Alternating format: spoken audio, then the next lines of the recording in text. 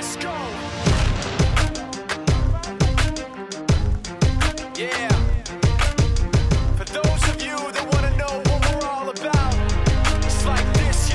This is 10% luck, 20% skill, 15% concentrated power of will, 5% pleasure, 50% pain, 100% reason to remember the name.